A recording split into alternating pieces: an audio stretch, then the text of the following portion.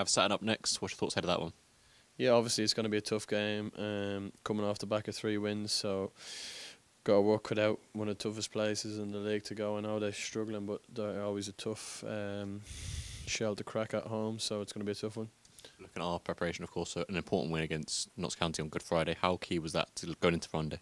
Yeah, it gives breeds confidence. Listen, winning games is massive. Um, been very unfortunate in a lot of the games, but yeah, good performance, good great team shape, great great camaraderie. The way the boys stuck to it and didn't get indisciplined, um, and that that's that's key to going towards something. We'll probably have a different game plan. It'll be less let them have the ball. They're more more direct, so it's going to be a different dimension to our game with a quick turnaround, of course, you rely on the whole squad and hopefully a different number of players that look to come in and make a difference on Monday.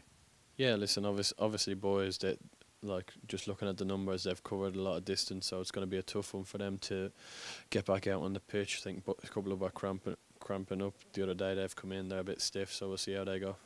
You mentioned Sutton, of course, on a bit of a good run at the minute, but what do you expect from them? Yeah, tough. Listen, um, tough, big side. You know what you're getting from them. Smith, proper handful up front, and it's going to be a great test. An initial away sold out allocation, how key will that be on Monday? Yeah, listen, the away fans are always fantastic. Like the crowd got us through the game. It, they could have easily went when we went when we conceded the goal, but they kept pushing and pushing us and getting on our backs and pushing us up, which is fantastic. Considering the the form we've been in since them first eight nine games of the season, it's not been fantastic. But we, we've um, we're hopefully picking up now, and it's going to be a proper test on Monday we played Sutton previously here at the county ground and you know got victory there. So hopefully we can take a bit of confidence going into that on Monday. Yeah, listen, it's a different game. Playing them here is fine, but when you play them at their cauldron, it's a it's a difficult game. They they put it on you. They're aggressive. They land on seconds. They're big. Set plays are a proper problem. So it's going to be a tough test.